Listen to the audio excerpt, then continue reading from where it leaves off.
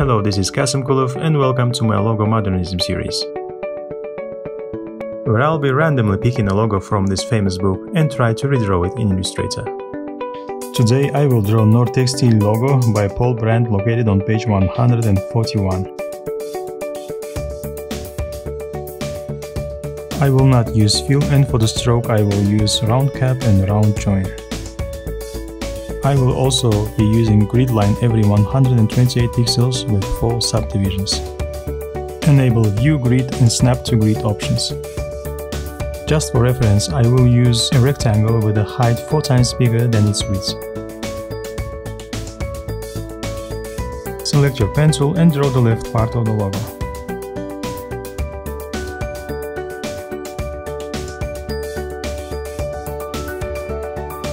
Draw a circle like so.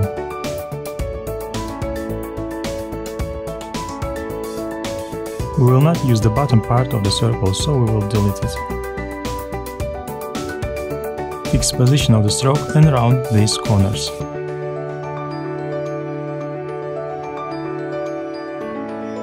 Copy the shape and flip it vertically and horizontally. Now we can delete the reference rectangle. Select both shapes and make sure that the bounding box height and width are equal.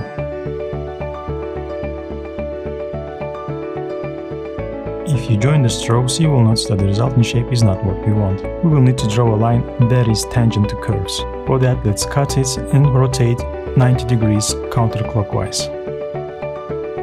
Put the line's end to the center of the curve and make a copy underneath. Let's delete unnecessary extensions of the line.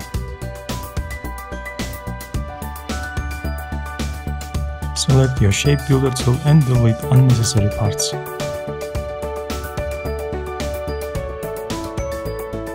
Let's hide the grid and disable snap.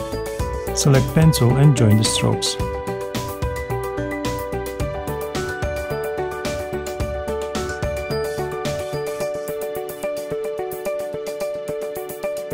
Now you can increase the stroke weight to a value of your own choice.